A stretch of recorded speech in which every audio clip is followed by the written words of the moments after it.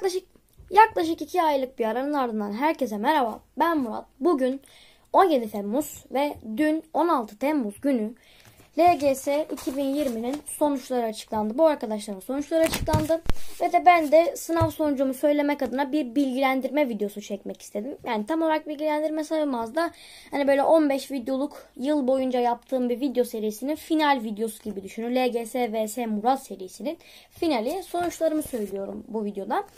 Ee, sonucumu videonun ilerleyen dakikalarında söyleyeceğim. İlk başta hangi derste hangi soruları ne kadar yanlış yaptığımı söyleyerek başlayacağım. Hemen başlayalım. Sözelden başlıyorum. Türkçe dersinde benim hiç yanlışım çıkmadı. Ee, sınavı fullledim. Fullledim demeyeyim Türkçe bir kelime söyleyeyim. Sınavı tam yaptım Türkçe bölümünde. Benim Türkçe'de en çok beğendiğim soru şu soru oldu. Plaka kodu sorusu. Çok dikkat gerektiren bir soruydu ve elenen birçok arkadaşımız olmuş. Ama ben e, ne güzel ki benim için güzel bir şey tabii ki. Eğlenmedim bu soruda. Türkçe bu şekilde dediğim gibi yanlışım çıkmadı Türkçeden.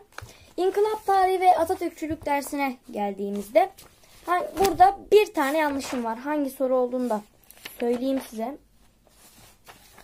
Ee, Birinci Dünya Savaşı ile ilgili bir soru. Şu soruyu ben yanlış yapmışım. C demişim ama A olacakmış. İlgilenenler bakarsa şurada. Devam ediyorum. İnkılap tarihi dersi bu şekildeydi. Din kültürü dersine baktığımız zaman din kültürü dersi açıkçası pek zor olmayan bir testti. Ve de benim de yanlışım çıkmadı. Din kültürü dersinden de 10'da 10 yaptım. İngilizceye geçtiğimiz zaman İngilizce birçok arkadaşımıza zor gelmiş. Ee, bence o kadar aşırı bir zorluğu yoktu bence.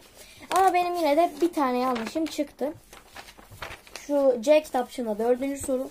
Şöyle gösterecek olursam bakabilirsiniz. İngilizce bu şekilde.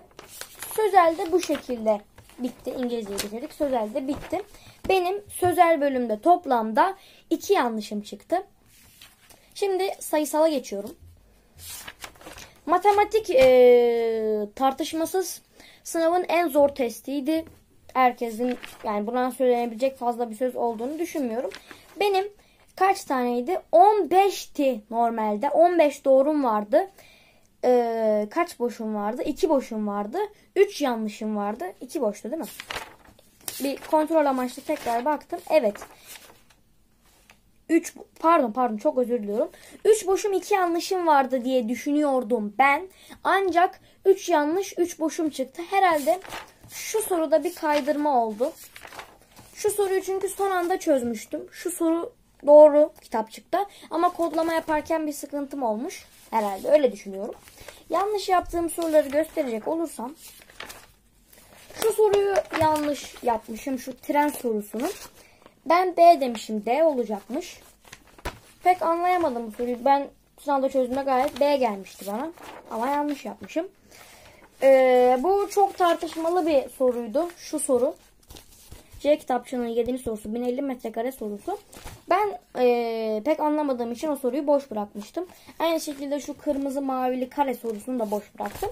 Çünkü az zamanım kaldığında bu soru boş kalmıştı ve de çok uğraşacağım bir soru olduğu için daha çok soru yapmak için e, o soruyu boş bıraktım.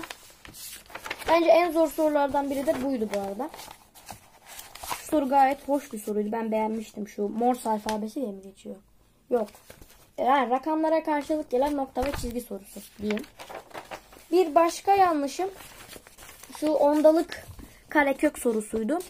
Örnek sorularda hiç ondalık karekök sorusu görememize rağmen LGS'de bir ondalık karekök sorusu geldi. Ben de bunu yanlış yaptım. Değişik bir durum. Baktığımız zaman başka ne vardı? Bunu dedim. Bunu doğru yapmışım ama galiba yanlış yapmışım ve de şu iki sorudan. Şu soruyu da çok uğraşmam lazımdı. Hafif sallamayla belki tutar dedim. Ama tutmadı. Ben C demişim. Cevap A olacakmış. Ee, sonra şu soruda boştu. 19. soru. Yine benim sonlara kalan bir sorumdu. Daha çok soru yapmak için o soruyu da boş bırakmıştım. Dediğim gibi matematikten 3 boş 3 de yanlışım var. Fene geçiyoruz. Fen de e, iki tane boşum ve de iki tane yanlışım var. Fen benim o kadar iyi olduğum bir alan değil. C kitapçığında şu soruyu yanlış yapmıştım. Pek bir şey söylemek istemiyorum bu soruyla alakalı. Şu ne denilir buna? Zar- zararlı böcek sorusu diyeyim. Buradakiler doğru. Buradakiler de doğru. Heh, bu benim hiç anlamadığım, alakamın olmadığı bir soruydu. Taç yaprak, çiçek falan içeren bir soruydu. Bu soruyu da boş bırakmışım. Devam ediyorum. Ee, sıvı basıncında çeşitli problemlerim olduğu için bu soruda benim yanlış yaptığım bir soruydu. Kameraya bakmam lazım. Buraya değil, buraya bakmam lazım. Ee, sonra bakıyorum. Sıvı basıncı ile ilgili yine bir soruyu daha yanlış yaptım. Şu soruyu. Evet bu kadar. Değil mi? Bu kadar. Evet. Sayısaldan da toplamda yaptığım yanlış sayısı şöyle koydum.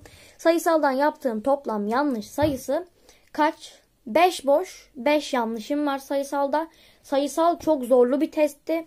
Ee, benim de yaptığım doğru yanlış olarak çok iyi bir sonuç değil sayısal anlamında. Ama sözelim gayet iyiydi açıkçası. 7 yanlış ve 5 boşla LGS sınavını bitirmiş bulundum. Ee, puanıma sonucuma gelecek olursam şurada büyük ihtimalle görüyorsunuzdur. Ben görmüyorum hatırladığım kadarıyla. 441,1223 olması gerekiyor. Böyle bir puan aldım. Yüzdelik olarak da 2,48'lik yüzdelik dilime girdim. Ee, bu şekilde bir de bu tam olarak şu an ne olduğunu anlayamadığım il yüzdeliği var. Sanırım ildeki sıralamamız, sıralamamızı gösteren bir şey bu.